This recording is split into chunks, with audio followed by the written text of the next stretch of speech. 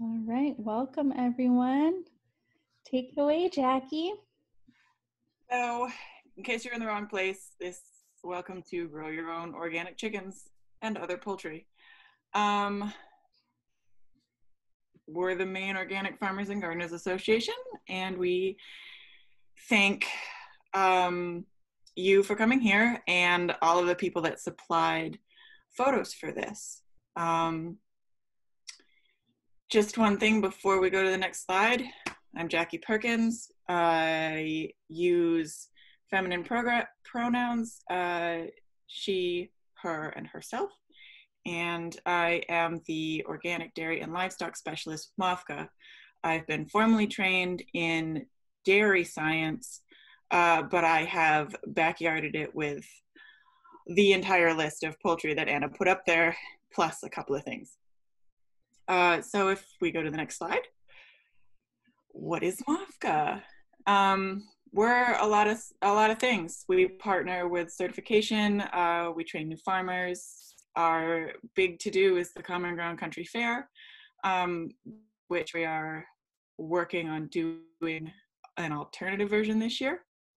Um, we have one of the biggest uh, groups of volunteers uh, in any organization in the state of Maine. Uh, we do some education, uh, uh, what I do is a lot of technical support with farmer programs and educational events like this.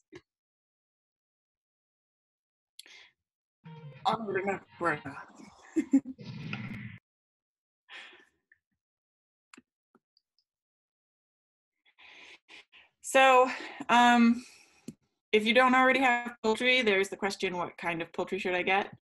Uh, and there's just a bunch of different kinds, as was pretty obvious by the poll question that you guys you guys already know. Um, and there's there's the things to think about. Do you want eggs? Do you want meat? And those are the obvious ones. Some of the other things um, that I've known people to do are some some hobby showing.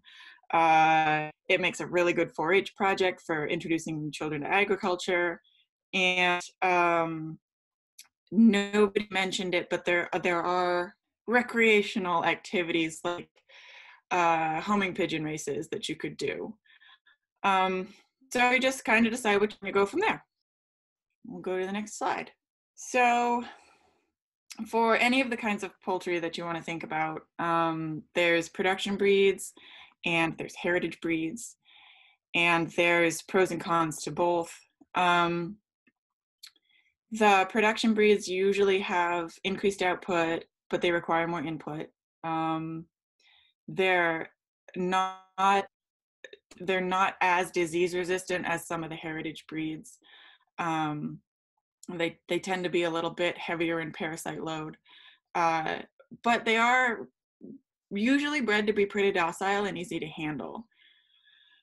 Um, and the heritage breeds they're, they're often bred to be great foragers uh, they're close to wild so they had to just go find their own food um, uh, the breed characteristics are are more diverse uh, they can i've noticed for my own self that the heritage breeds are a little more aware of the predators um, and they'll they'll hide from them a little better um, but they do grow a lot more slowly. Um, so I I have a nice animal handling video on YouTube channel for MOFGA, um, and there's there's a webinar where I talk about some basic chicken chicken handling. But one thing that I didn't mention was that uh, one of the things you need to consider is whether or not you want a male in your flock and they're pretty handy to have around because they will stop fights between your hens. They'll round them up and show them where food is. They'll chase them into the shelter if they see a predator. Uh, they're they're very very into the welfare of their flock. But as far as handling them, you have to understand that the more you antagonize them, the more that they're going to fight you. So if you or your kids or anyone that visits is kind of picking on your rooster or your drake, you, it's one thing you should stop. um, because it it makes them super defensive and super aggressive. So uh, if we go to the next slide, here's an example of some chickens that there's there's uh, one heritage breed chicken in here and there's some hybrid chickens in here. And maybe somebody can kind of pick it out and tell me the difference and if um if you think you know tell me in the chat. Ooh yes the darkest one. Yeah well done guys. Now you guys all picked up on it because i had mentioned that they're slow growers and you can see that the the black one has kind of still fluff on their head. Um like i said at the bottom of the the picture they're all about the same age but the big difference is the ones that are fully feathered are hybrids and the darkest one is a heritage breed so they do definitely grow slower. If we go on to the next slide. Uh, so one thing if you're going to raise your poultry and you want to do it in an organic manner there's some things to consider um, especially if you want to get certified but some of the things that certification looks for is that they're managed organically from the second day of life. And they say that because organic hatcheries are few and far between, and they certification tried to take into account shipping time. Um, so that means food, space, uh, and bedding. Um, once they get old enough, you provide access to the outdoors there are other uh, allowances for weather. Um, the handbook that MOFGA Certification Services puts out to their producers lists things like extreme temperatures, violent weather, um, feathering, and molting. Weather events are short term as opposed to seasonal weather. So you can't just say, oh, this is the hot season, they stay in. Uh, you kind of have to provide for that. And you can keep birds inside uh, if there's a predator threat, but you also have to put forth a plan to get rid of the predator somehow. So um, we're also avoiding antibiotics and hormones. Vaccines are still permitted, uh, especially in poultry, because there are sometimes only genetically modified vaccines that are available on the market for poultry. Um, it gets a little complicated, but if you want to be certified, you can go through it with your certifier. Um, if you're managing different flocks, then identification systems can be used. Uh, you can use leg bands of different colors, or you can use different color breeds for different age groups. Um, the different colored bands come in handy if you wanted to say uh, pick out the roosters or you were growing several different ages of poultry that you were selling to your neighbors. Um, let's see.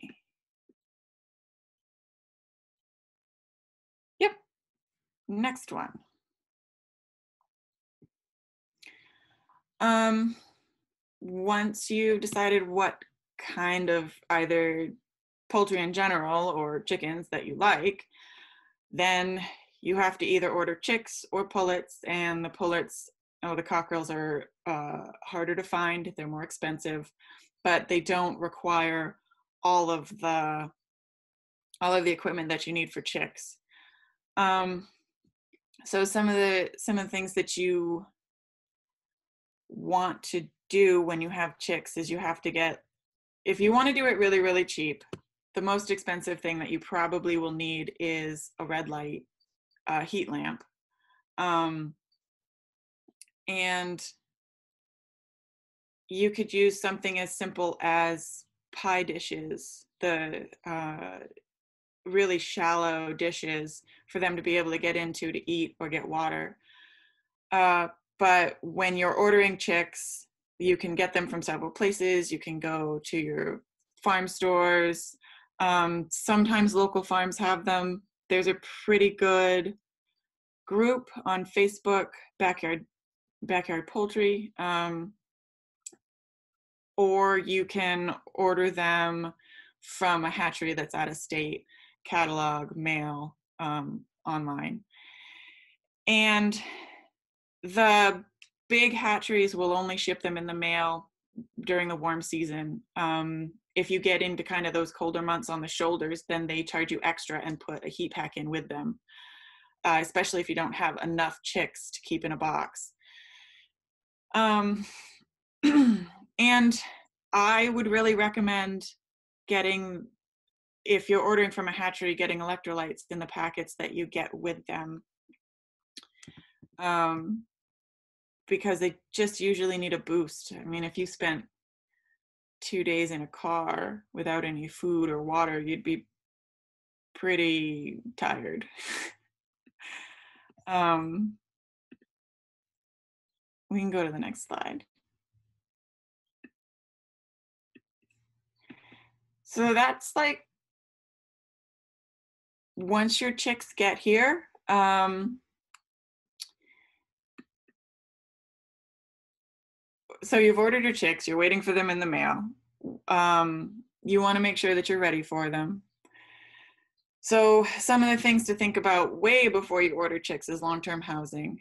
Uh, you want a brooder for your chick that can either go in your house or in your coop. Um, how much pasture access you're going to give them, and how you're going to get food and water to them. Let's go to the next slide, Anna. So when you're building your brooder, I had mentioned that you can put it either in your house or in your coop. Um, in your house is a really nice option because you know it's draft free.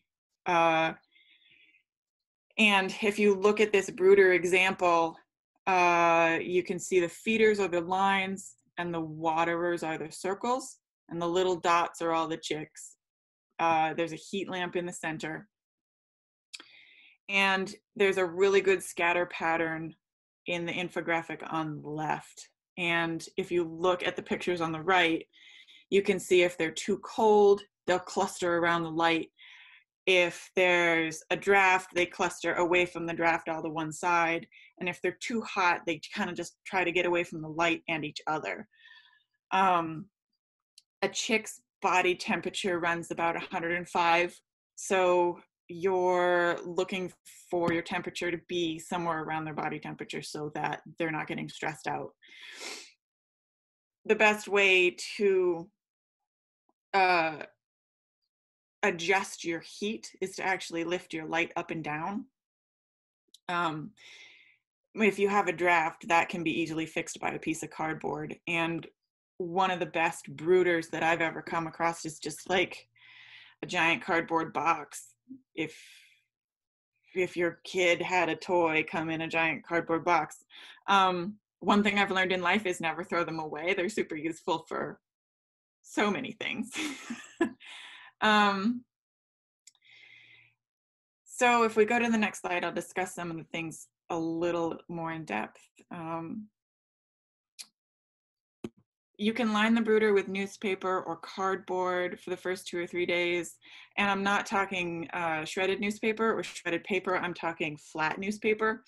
And we do that because the chicks, when you get them, don't know the difference between sawdust and their food. They, they know nothing. Um, you have just turned into their mom. You have to teach them what to do.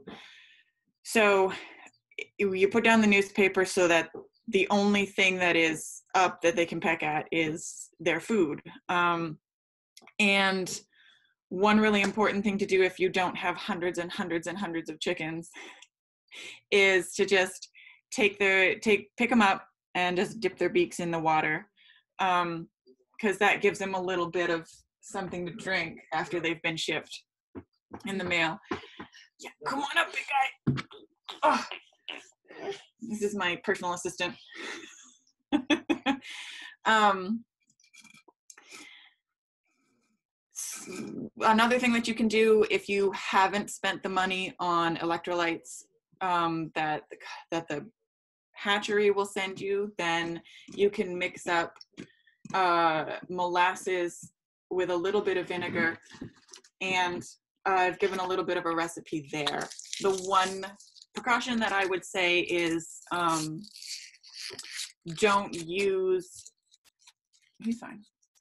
Don't use blackstrap molasses because it's not refined enough and it will act as a laxative and your chicks will get diarrhea um, and die pretty quickly.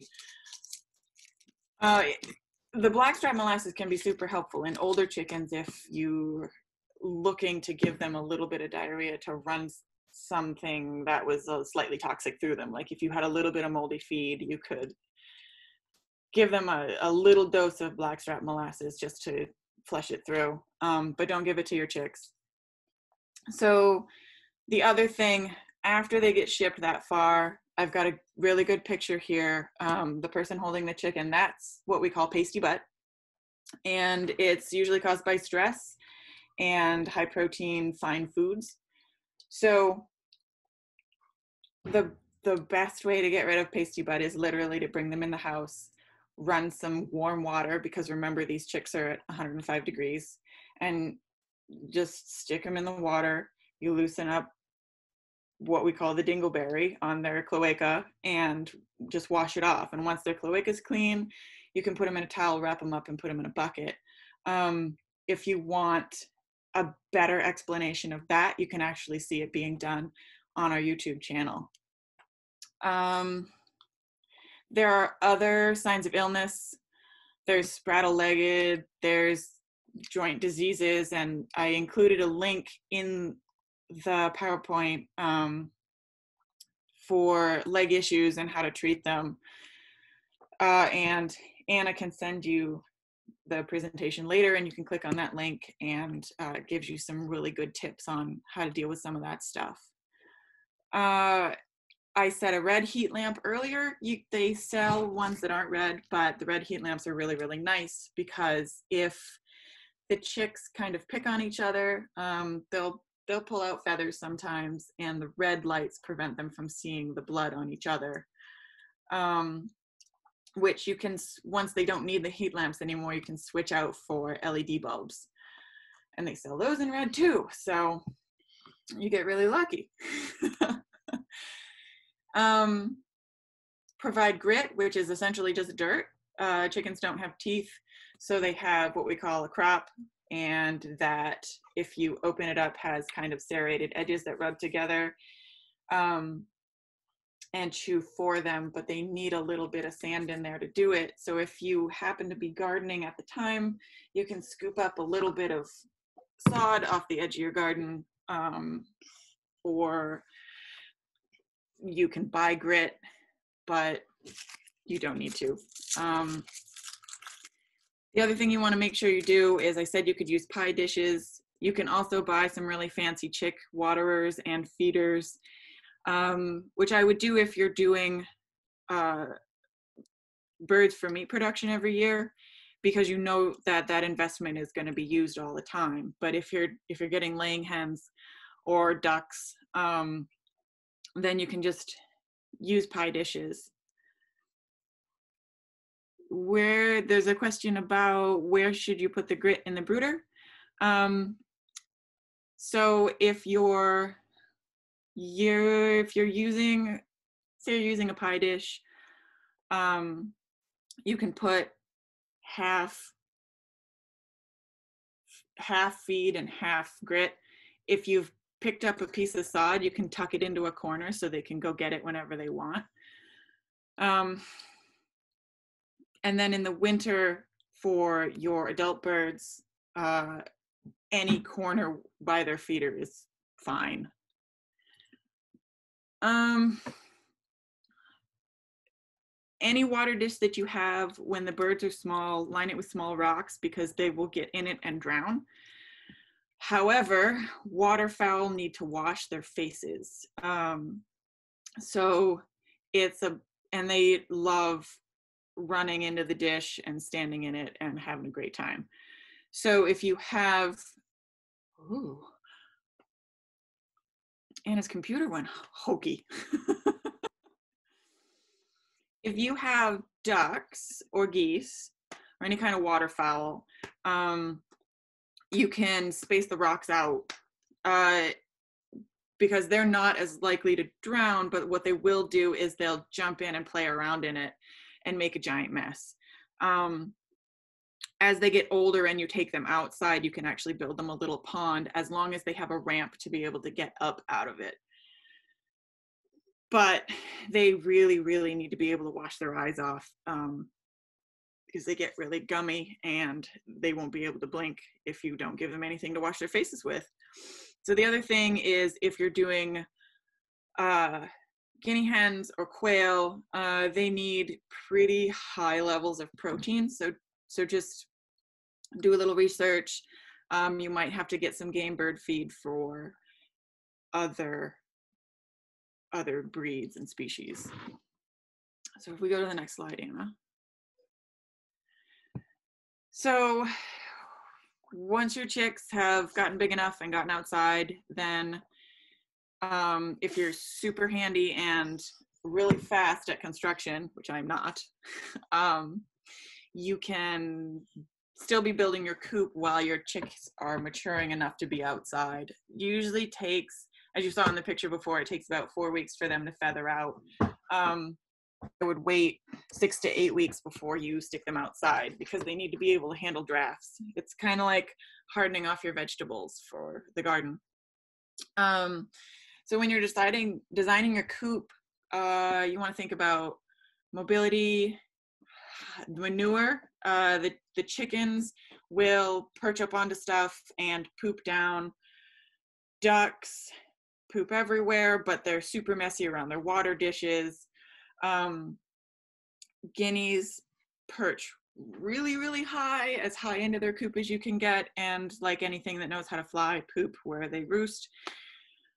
Um, so I've seen people that will build uh, their clean outdoor right next to the roosts, or I've seen situations where you can put in dowels that are, and have a slatted floor and it falls down into an underground manure pit underground manure pit and they can scrape it out without disturbing the birds.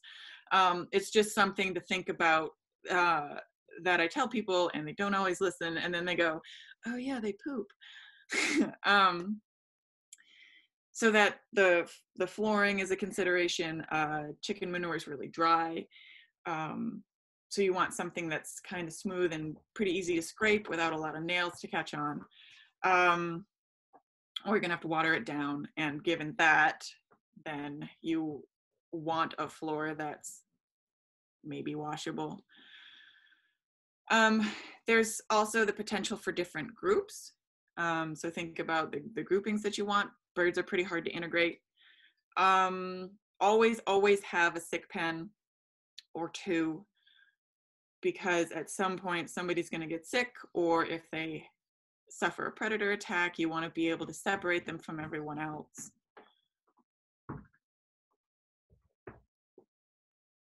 And um, predator protection is always a slight challenge um, because weasels are really, really smart and raccoons will kill them all for fun, as will uh, possums. um, so generally you want it, you want to put up chicken wire or uh, some sort of small uh, fabric on your windows so they can't get in. Um, if you happen to have a very permanent structure and you have electricity in it, I know a really, really good product um, that you it's not it's not a it's not a sound wave emitter it's a sonic emitter uh, and i found it at walmart of all places and i plugged it into the wall and all of a sudden all my rodents were gone um, but that works really well, well for rodents it doesn't work on anything bigger and I've got a question. It says, We've been hardening off our five week old laying chicks by leaving them in the run outside during the day and bringing them in at night. When will they be able to tol- tolerate overnight in the coop? Probably now.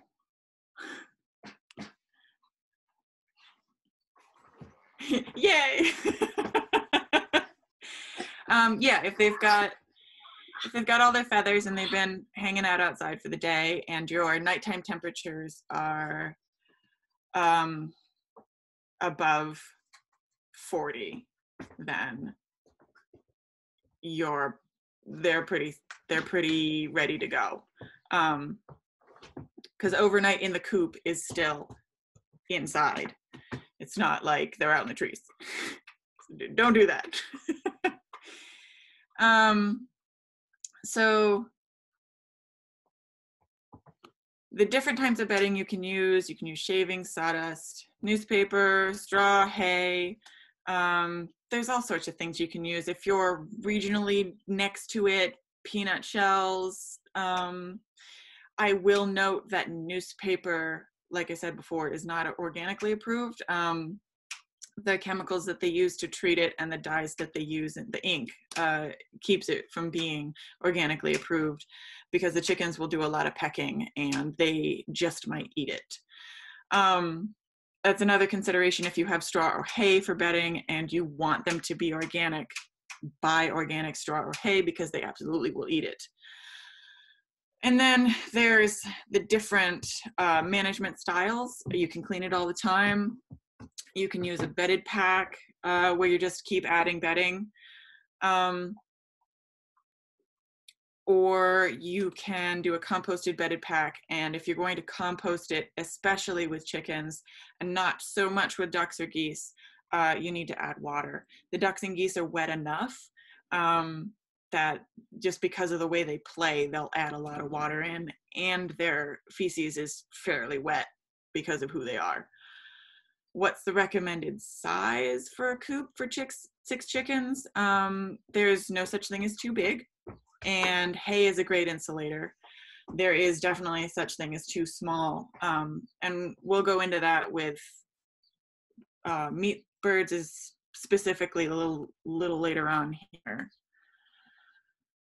Um, when we just a quick note about the stable groups and integrating them, I get asked a lot about uh, how to integrate chickens. Um, you've got an older group of chickens, you've got a younger group of chickens, and is a really, really good project for your teens that have had way too much screen time. Um, is you stick them in the coop all together at night and then in the morning you let them fight for a little while and then separate them again. Um, and it takes about a month of doing that before they finally just give it up and like fine i guess you can stay. The other thing that you can do that's super helpful if you're starting with a, a coop that you're building is to actually have uh, two separate pens or a wall that you can remove so then they can see each other and kind of posturate each other all day. And you can still put them together and remove them into their own space and they can still make faces at each other. Is so there's a question if they poop under the roost does bedding get placed there too or just in other parts of the coop? Um no you don't have to put you don't have to put bedding under the coop especially if it's falling to the outside. Um, if you are gonna have a manure pile outside because it's falling down through the floor, I would do something like putting some sort of rubber mat or uh, a slippery surface to be able to scoop it up and take it away because it's you you don't want to waste your manure it's so valuable for your plants um, once it's mellowed out a little bit don't ever put raw chicken poop directly on plants. Put it into your soil in the fall and let it just melt because it will burn them. Um, yeah. Yeah, okay, cool. Next slide, Anna. Yeah, so here's the spacing requirements um, to do chickens organically. Uh, the reason that I've highlighted the one and a half feet squared until 16 weeks old is because when you're building your chicken tractor that you move around the yard, if you have meat birds, you're only raising them until they're 16 weeks old. and the space requirements for that standard chicken tractor 10 by 12 is only a foot and a half of space once those birds have matured and that's for about 80 birds um, if you're raising them past if you have plans on raising them past that or you know that you're going to process them yourself and you're only going to do a few at a time because of the breed that you have either give them more or give them uh, a fenced in area like in this picture this is a really good example of meat birds on pasture. They've got plenty of space. It's the shelter that they have is super light and movable. Um, and uh, they're not getting they're not getting crammed into one little space for too long. Um, as if you have if you have laying hens that you're going to keep for a while or your meat birds you know that you're going to keep for a while we ideally want three square feet per bird at the minimum. That allows them to stand up flap their wings turn around kind of kind of be normal chickens in a very small space um, it it it's a balance between uh, efficiency and um, uh, all I can think of is humanity.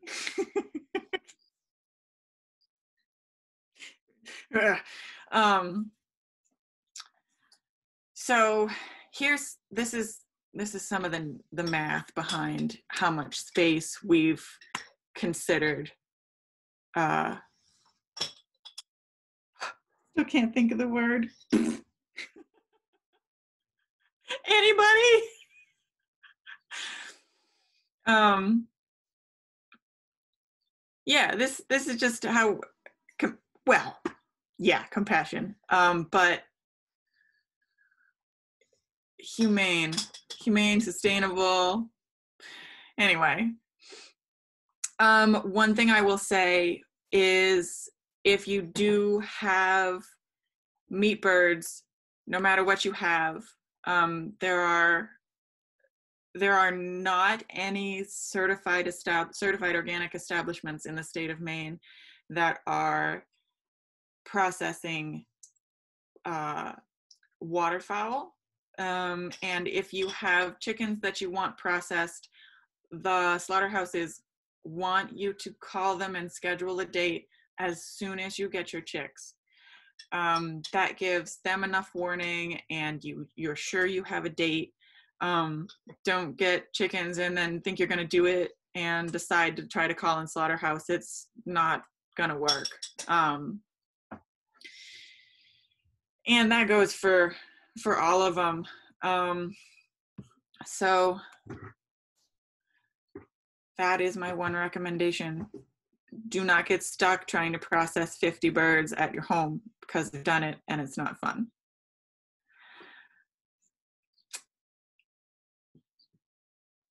So I had talked about the clean bedding in a on a different slide is that you either add it to the top or you change it regularly in these systems that stay still um, because uh, urine and feces is really really high in ammonia and it will give them breathing problems um, and it seriously reduces your efficiency and who wants to hang around uh, in an outhouse all day so those are the stationary system requirements. Um, and we can talk more about pasturing in a few minutes.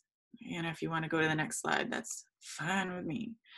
This is just another example. Um, this coop, according to 16 week meat bird standards, which is what this was built to, will house 80, 80 birds.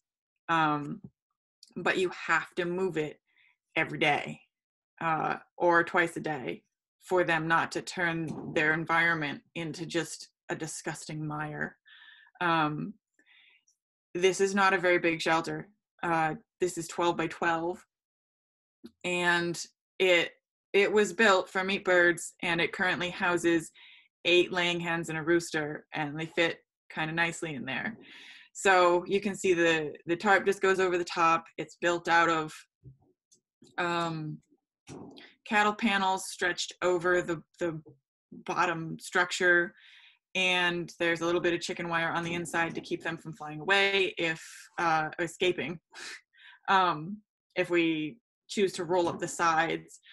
Uh, you can see the the back where the chickens come out they have a little door that's got a tarp that comes up and down little curtain and uh, the inside now since it's been retrofitted for laying hens there's a little nest box in there and some roosts for them at night. And full disclosure this is my mom's so she likes to keep a piece of big a big piece of cardboard down uh, from one of her grandkids toys that we have and it's nice and slippery and her that little yellow bucket is the poop bucket and she collects it all up uh, every time she moves them and i steal it for my garden. So if anna goes to the next slide we'll see some more examples of some stationary coops. Uh, you've got the one all the way to the right is big and fancy, uh, super, super stable. Uh, you can set up a brooder in there. Um, the one criticism I have is that it, if you're not careful with your grain or your scratch feed, these big, really stationary coops turn into uh, rat hotels.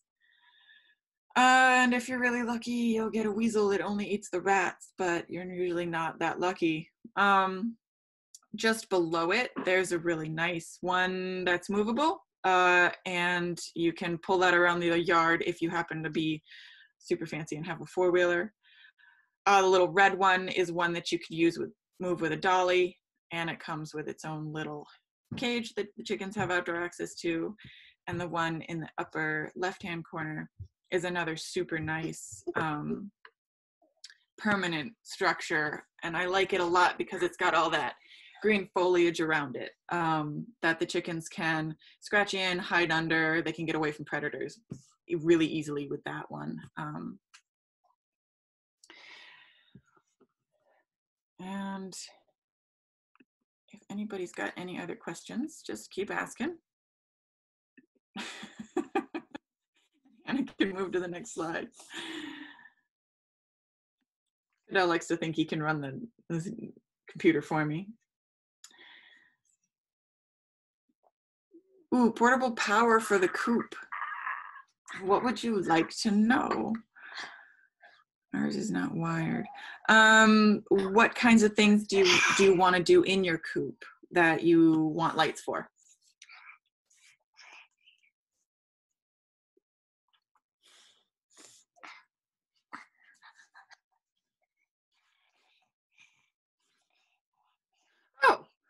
Um, if you have, so the the little summertime coop uh, that we drag around, we do not keep them in in the winter, obviously. Um, but if you've got one, so yes, you need lights on them if you want them to lay through the winter. Uh, and it's super helpful to keep your water thawed out. Um, but we normally, what we normally do and have had plans for is to uh, take it and park it because you're not going to move it around in the winter. Um, you really don't want to shovel that much snow. you take it and park it up next to, say, if you have the opportunity, the south side of your house or a larger existing structure. And then your power you can run out with an extension cord and cover it with mats or dig just a little trench and run it through some PVC pipe and just kind of cover it so that the moisture doesn't get into it. Um, wrap any connections in a plastic bag with some duct tape. That'll keep the moisture out of those. And uh, that's what we've done before we've we've run extent we've parked them right up close to the building and we've run extension cords out to them uh, and it seems to work nice maybe silly questions but will chickens fly away they so chickens will fly about as much as a wild turkey does oh you um and going going back really quick to the the coop yes you can you can use solar power in your coop I don't know how to do it. Um, so if you know how to do it, kudos to you. um, but yes, chickens will fly. Uh, they're built. Chickens are actually native to the jungle, so they're they're built to go from branch to branch and glide around in the in the low shrubbery. Um, and you can keep them from flying by trimming their wings. You have to do it every year. Um, it doesn't hurt them. It just kind of makes them grumpy. Um, and uh, there's a really good instructional video on our YouTube channel about which which ones which feathers to cut. Um, you can either cut both wings or just one. And it seems to work really well. It just makes the chickens grumpy because they can't get out anymore. And eagles are eagles and even even large hawks are a danger. Um, I actually had a large hawk go after the chickens here at home the other day, and our rooster, who's giant, fought him off and chased all his ladies inside. Um, so, uh, one of the ways to keep the eagles off of them is to make sure they have plenty of places to hide under. Uh, or the darker colored birds um, are less susceptible to attack because they blend in with the ground. Um,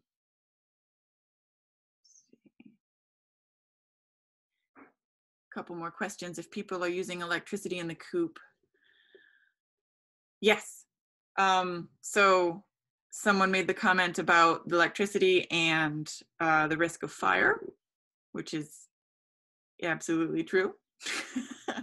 um, our neighbors do production hens, and there's currently 800 chicks in our backyard. Um, and they buy these kind of old camper trailers because they move their hens around the field.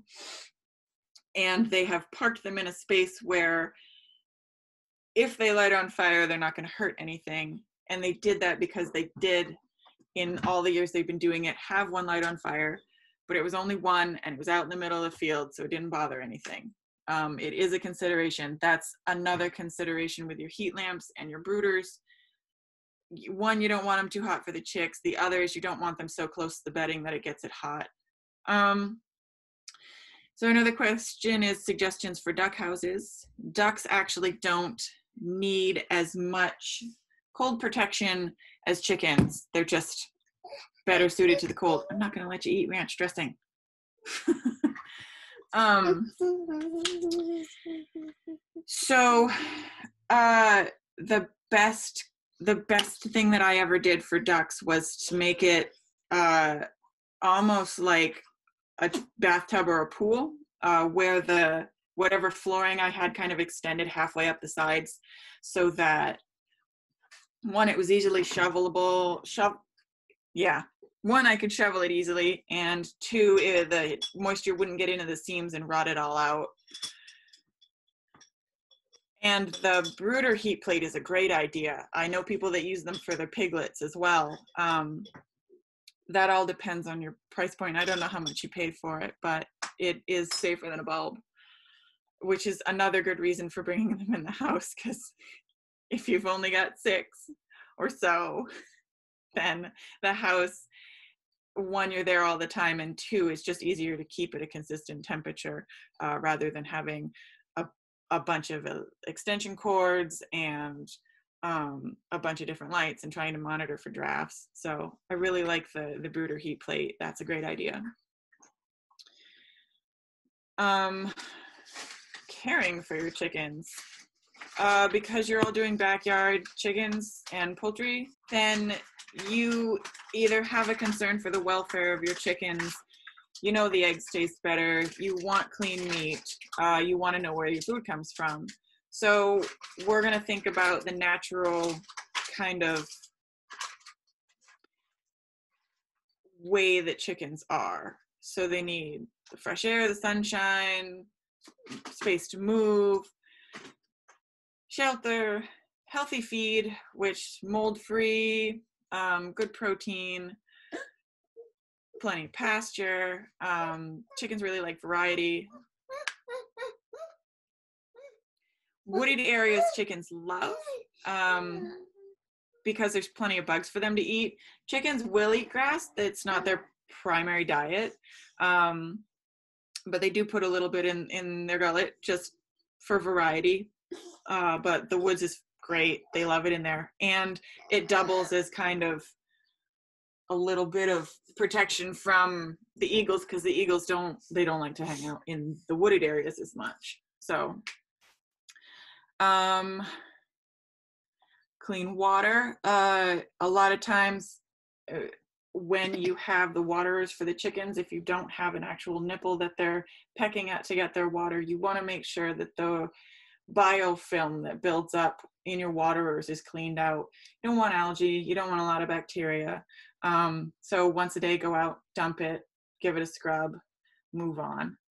Uh, dust bath area, it's especially important in winter. Uh, and you can use diatomaceous earth in your your dust bath area, but you want to make sure it's in a well ventilated area because diatomaceous earth is uh, essentially little rock crystals that work to cut up the the carapaces of any kind of external parasites and if we breathe that in or they breathe that in in large amounts it tends to be a little hard on them so if you're putting down a lot wear a mask make sure your chickens are outside um, and let it all just settle down.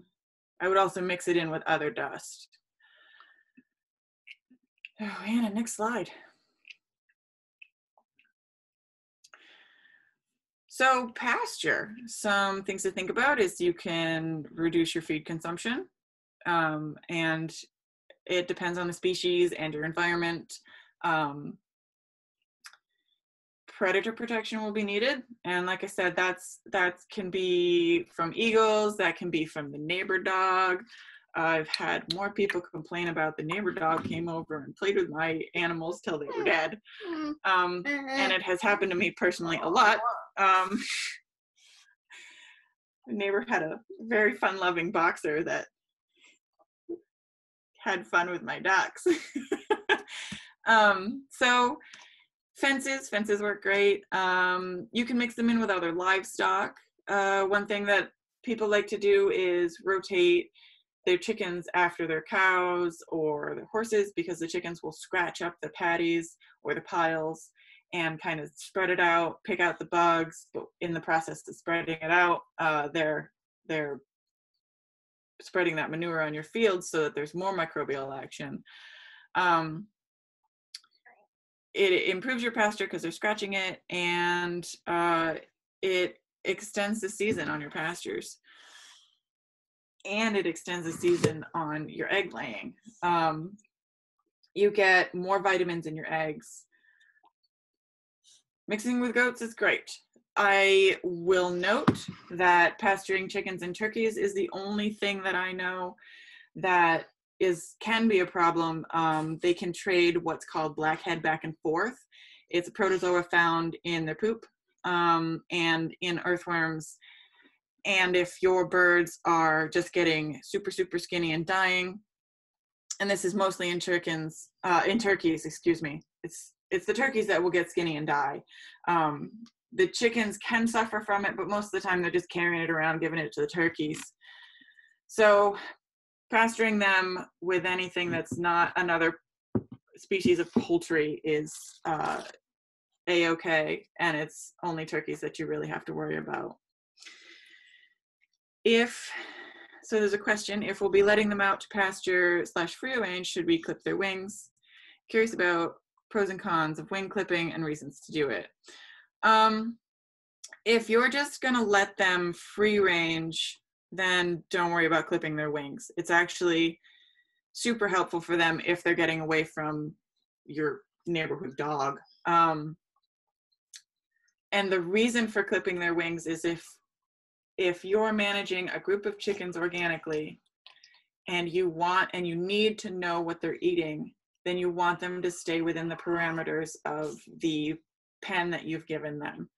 So you clip their wings so they can't do that kind of uh, kind of hand glider flight out over your fence. and it works for ducks too. I had a Muscovy duck that was super wily. Um, it works as in as far as uh, they can't fly. Muscovy ducks are really, really, really smart, and they will climb if you give them a sturdy enough fence to climb. Hawks are tough because they'll they'll often eyeball your chickens and try to pick them up and realize that they're bigger than they thought and then drop them. So if if your chickens are like if you hear them out in the coop just clucking and squawking and carrying on like they've just survived a near death experience then go out and check them keep an eye on them for a couple of days. Somebody that got hurt uh, might be hiding just sitting in the corner. Um, and that's one thing to note about birds in general is that they're prey animals so they're going to hide how they're feeling until they're almost dead. Um, so the, the more you're watching your birds the more you're interacting with them the more that you'll see something is off Hannah, if you want to go to the next slide, we'll keep this train moving. Um, after pasturing, we had talked about kind of like reducing your feed from anywhere from 25% to 100%. Um, there, here are some of the, there are some of the math behind uh, feed requirements. And the one thing I will note because math is not my strong suit is if you have broilers, uh, one really good rule of thumb is feed them only as much as they'll clean up by early afternoon. And I mean early afternoon because if you put feed in their feeders, they will come back to the coop and you can close them in at night. And too much feed will make them super aggressive towards each other um, also high amounts of protein. You might think giving a meat bird a lot of protein is a good thing, but they put on muscle too fast. Uh, they get too heavy for themselves. And in the meantime, they're really aggressive toward each other, um, which is counterproductive to, to wanting to raise meat and uh, really disturbing when you just hear chickens fighting all the time. Um, so if you want the math, you'll get it. If you don't want the math, just gauge how much they can clean up. I got a question uh, about stationary coops. Does buying wire, burying wire mesh into the ground around the outside edges help keep rodents and raccoons and foxes out? Yes, um, it does. It's really labor intensive, but for your kind of either winter run or stationary coops, it tends to be worth the effort. Um,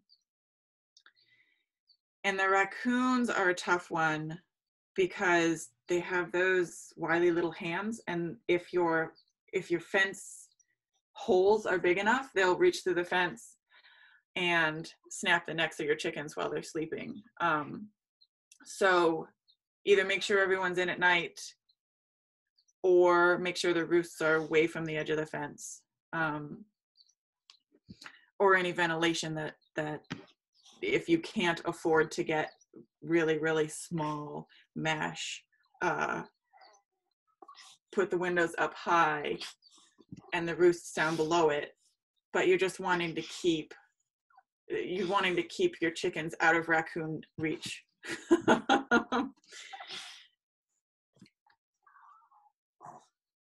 if you so i got a question. Did you say put feed out around sunset to get them to come back in at night? You put the feed in your coop.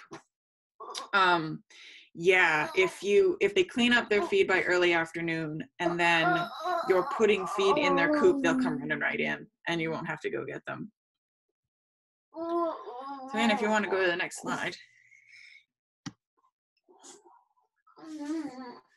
Oh, after making sure that they have clean water and food uh, there's watching them for health concerns, which um, there's a there can be a lot. There can be a lot to to keep an eye on. But preventing is always better than having to treat. So keep an eye on them. Um, things to watch for are the color and quality of their comb and their wattles. Um, their level of activity, the quality of their manure, uh, and their growth rate and egg production. Um, so back when we were talking about coops, this is why I stressed you should have a sick pen or two. Um, so in case of illness, uh, the initial treatments that you can do are you can isolate your bird um, or and while they're in isolation you can put echinacea garlic and oregano oil in their water. And uh, it's generally if you're using an essential oil it's a drop per gallon of each. Apple cider vinegar works really really well. Um, that's four teaspoons per gallon. Uh, you can also give the apple cider vinegar to brand new chicks that you, that you've gotten in the mail, um, but don't go over four teaspoons per gallon because it can be pretty hard on them. Oh, what's the other half of this thing? So symptoms to watch for: uh, loose or bloody stool. That's either coccidiosis or salmonella. Um, you can get them vaccinated for salmonella, and I would. Um, also, you can have them, if you're running a production flock, you can actually have them tested for salmonella and E. coli. And there are flocks that are certified free of E. coli.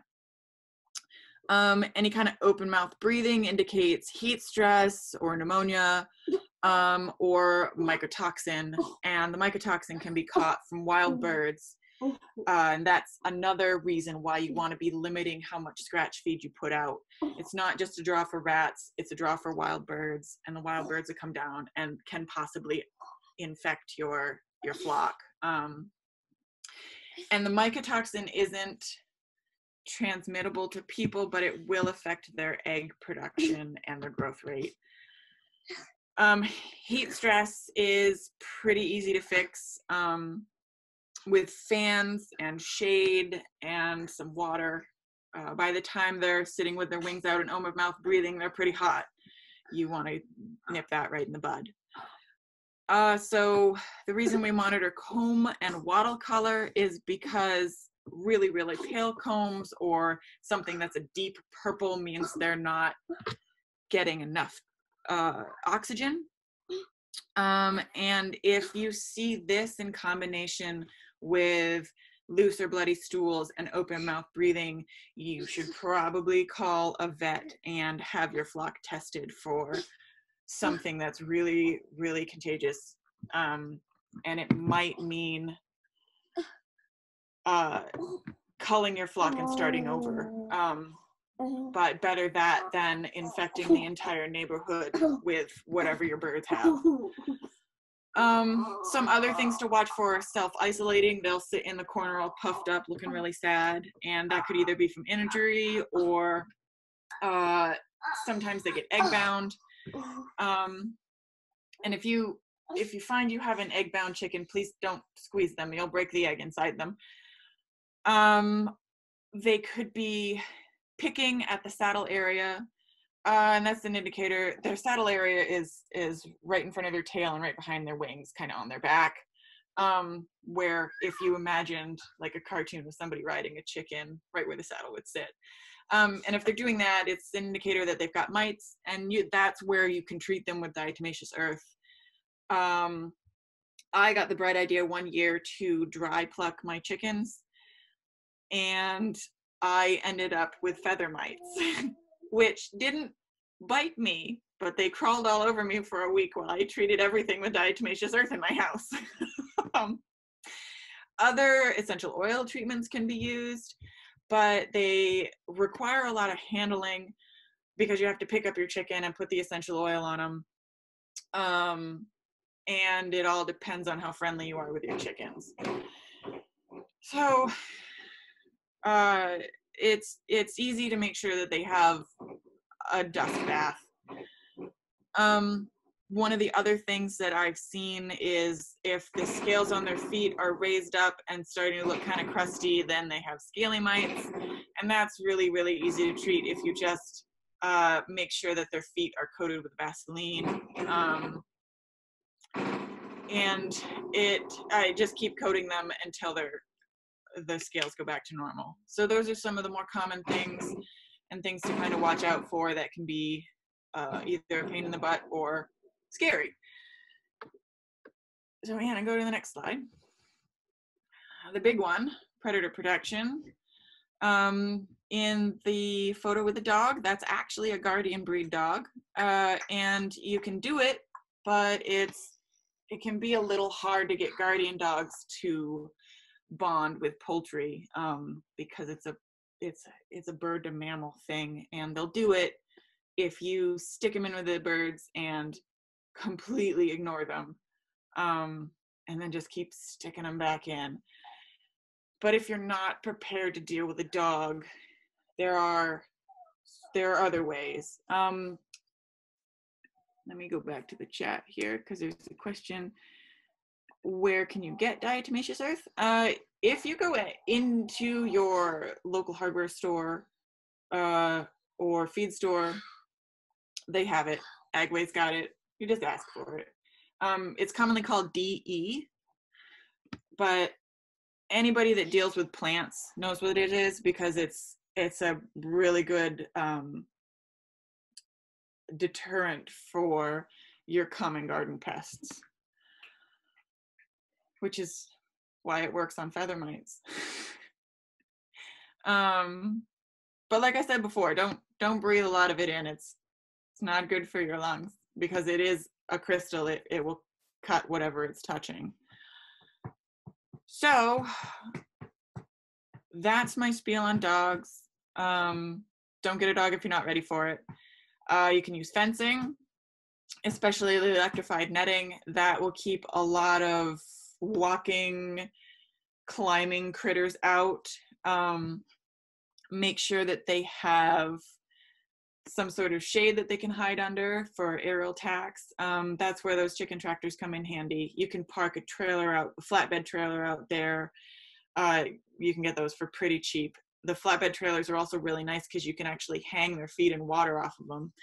Um, and they can all run under there if they see an eagle. Um, I had said earlier that choosing darker breeds naturally camouflages them. That's really apparent uh, when you've got laying birds next, uh, pastured next to a bunch of white meat birds. Um, and that doesn't exclude ducks. I have not had an eagle go after the geese that I had, I think just because they were huge.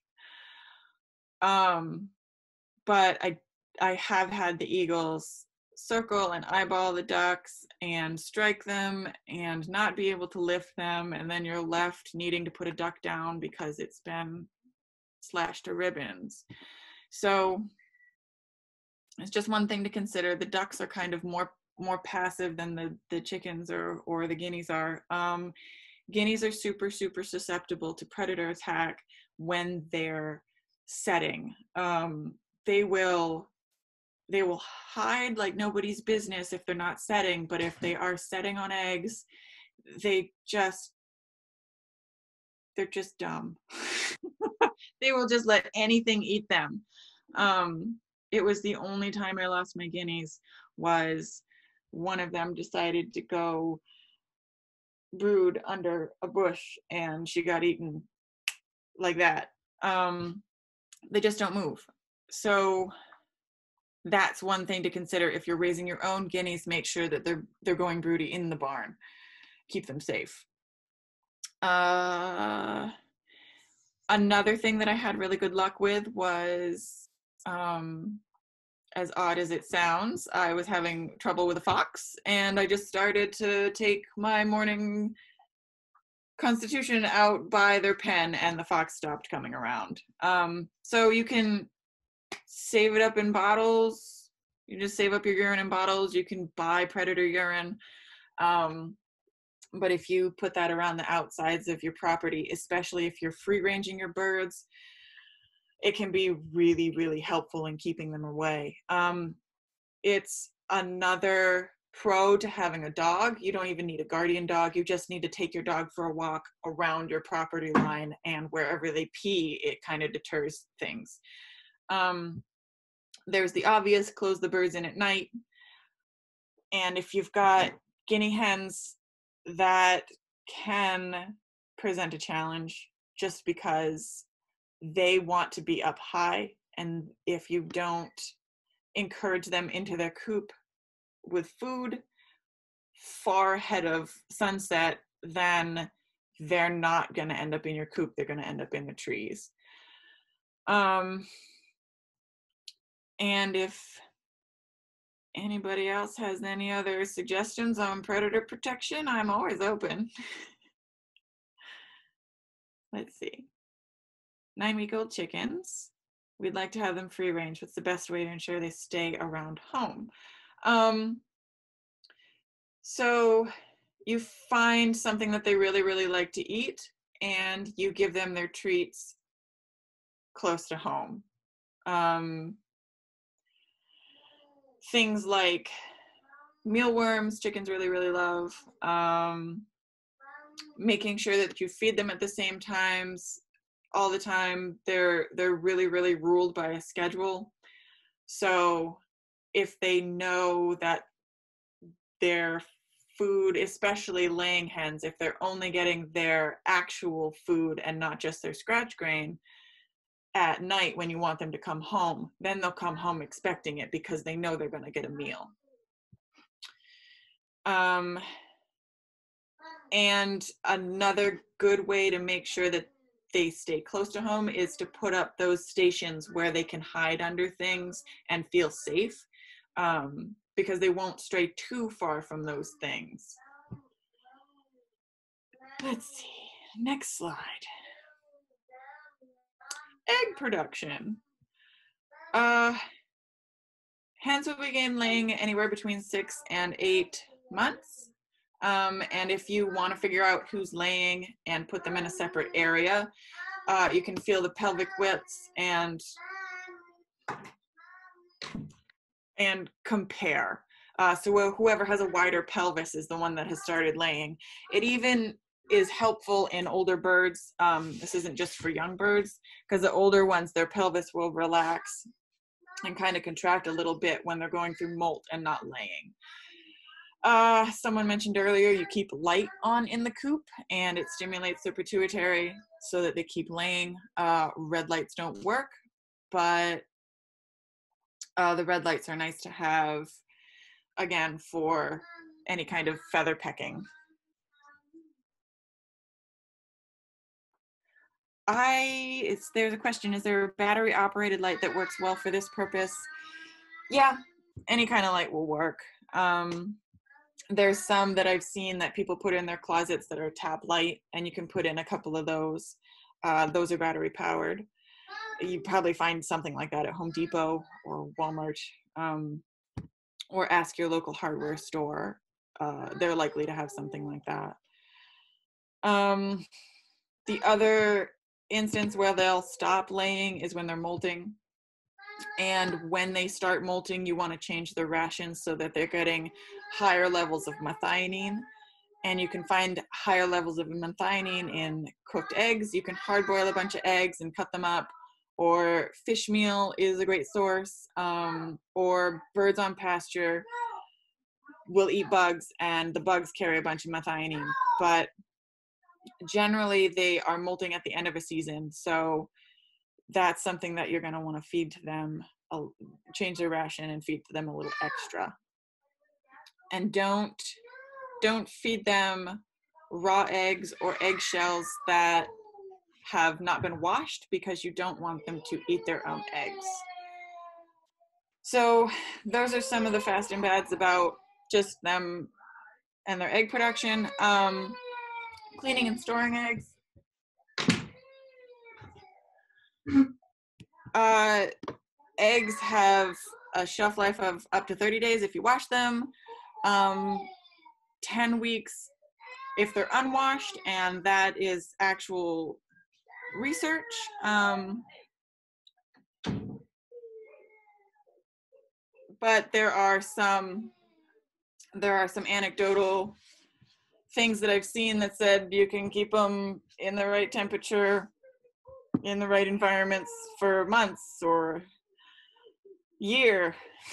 Um, I've never tried it, and uh, that's that 10 week un, unwashed is because they have uh, a bloom it's just kind of chicken slime uh, that covers the egg as it comes out um, and i've only ever been able to do it with chickens the ducks and the the ducks specifically are so wet just in general um, that i've never been able to keep them clean enough that I didn't feel like washing them. Geese tend to be very clean about their eggs, um, and every other dry fowl. It's just for some reason ducks are super wet, and even when you're incubating eggs, duck eggs you have to spray with water because they just like to be moist. Um, when you're washing the eggs, you want the water 20 degrees warmer than the egg temperature. Uh, the egg, you have to remember that the eggshell is porous and hot water will push any bacteria in through the pores into the through the shell and into your egg. Hi, cry. You're allowed in. Be quiet. I know. Um, you can use a little bit of bleach or you can use some vinegar or hydrogen peroxide, but don't soak them or submerge them. You want to just kind of run water over them. Um, and another way that I've known people to to to clean them is to use just a little bit of light sandpaper and kind of just scratch off whatever organic matter is on the outside. Um, if you're selling eggs, your labels have to include your name, your farm name, uh, the grade, the size, and the count of how many you're selling. You can sell ungraded eggs, um, but they have to be labeled as such. And the best way, since we have people from several different states, is to check with your state's Department of Ag, and they will help you determine your local laws. At what uh, question At what age will a production hen shift from being a layer to being better off as a meat lady? Um, so, chickens will lay productively for three years. Uh, ducks are about the same. Um, geese are geese only really lay in the spring um, and I honestly don't know for how many years they're good for. Um, probably three to five.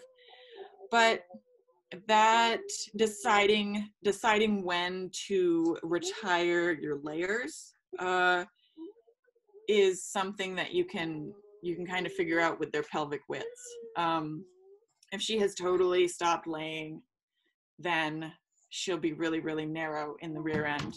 Um, and when they're between the ages of three and five they'll slow down maybe an egg every other day um, an egg every couple of days if they're over five they might give you an egg twice a week um, and it all really kind of depends on the chicken and the breed uh, but uh, I have an old hen out here that is still laying about an egg a day, and she's five. The biggest problem I have with her is that no matter how much uh, how much extra calcium that she has access to, her shells are still really brittle. Um, and she occasionally will drive me crazy and eat an egg. Um, one thing that you can do to keep them from eating eggs is you can buy a ceramic egg uh, and put it in your nest box and the ceramic eggs will do two things they'll teach your young birds how to lay in the area that you want them to lay in and they're so hard that when a, a hen goes to peck the egg it hurts um, if you're really crafty, you can blow out an egg and fill it with hot sauce, and they don't like the hot sauce. Um, but honestly, if you can figure out who's eating your eggs, you um, might consider retiring that bird. Um, when your birds are learning to lay in their nest boxes, they will develop the habit to lay in there, but uh, to get them to learn that habit, generally you want to leave them in until about 10 a.m. because they, for some reason, all lay in the morning, even the ducks. Um, uh, and make your nest boxes inviting. They want to lay their egg in a quiet place that's secluded um, and comfy. And uh, it, so one of my friends made me laugh recently because they said, "Well, we've got we've got six, we've got eight nest boxes. Why don't we get eight birds?" And I laughed. Uh, I said, your birds are all going to pick the same nest box and lay in it. um, so generally about half as many nest boxes as you have birds is sufficient. Um, they will fight over their favorite nest box. Uh, chickens, I got a question about how long do they live? Uh, 10, 12 years. Much longer than their productive lifestyle. yeah, they go way longer than they stop slowing down on eggs. Um, so that's why a lot of people put them in the pot because the longer they live, uh, the stringier they get. Um, if you've got a stew chicken that you decided to put in the pot uh, at 10 years old, because you just never caught her or she was still giving you an egg and she didn't end up being your friend um, please put her in the crock pot that's not a frying chicken uh, so poultry processing classes uh, we have at MOFGA, and hopefully we will be having some this year. Uh, if you don't want to process your own birds. Um, like I said, you reserve your spot with your butcher as soon as you get your chicks. Um, and if you want to sell them, the if you're raising birds for meat and you want to sell them, uh, the Maine State Meat Inspection Program has some really good information regarding slaughter re- regulations, and they have a directory of custom meat and poultry uh, that will give you the name and the number and location of everyone that's licensed to process in the state of Maine. Um, and that is very state specific. Maine runs a meat inspection program other states rely on the USDA, um, but I would check with your state Department of Ag. Uh, there's usually some fairly good resources because that's what they're paid to do. And just a reminder to check with your state regulatory agencies for both egg and meat production because they can be different from state to state. Um, and if you're raising chickens, make sure your city, your town, your housing authority um, will allow for your poultry, and they may have some restrictions like banning roosters, not wanting peafowl, um, guineas, even though people, the, the logical, like, I got guineas because they eat ticks, they're, they make a raucous noise, and some of your neighbors might not like it. Um, so just check before you get them rather than having the fight after you get them and possibly having to get rid of them and pay a fine. um, and our next slide, I believe, is our resources. So, um, Anna, if you want to stop sharing your screen and then open it up for any remaining questions, we'll go. And Jacki in the chat, someone says, Can you split a flock into two tractors in the day and then put them back in the same coop at night? Yeah, that's not a bad way to do it. Um, kudos to you for wanting to take the time to sort out chickens every day. uh, if that maybe maybe an easier way of doing that is to split your coop in half and have doors at either end um, just to because you're gonna have to get out there at like daybreak before they hop off their roosts and go sort chickens out because they will fight. So there is that. But if you're an early riser have at it. Camille asks how often should coop bedding be cleaned? Oh um, so that depends on kind of the space that they're in and how many chickens that you've got. But anytime that you're noticing them being like if, if you walk into the coop and you go, oh God, then then clean them up. Do you recommend half the nest boxes to number of hens? Yes. Because they'll all I'm serious, they will they will pick their favorite nest box and you'll have a dozen eggs in there. We at MOFGA are always available for questions. Uh, we're a quick phone call or email away. And there's a question, is it necessary to shut their coop door at night if they're in a fixed run with a permanent coop? Yep, because critters will get it right in the door. Uh, there are some really fancy setups that do it automatically on a timer. Um, I last time I looked, I think there were like 150 or 200 dollars. Um, so if anyone finds resources for lights in permanent coops without power already, sweet, share them, please.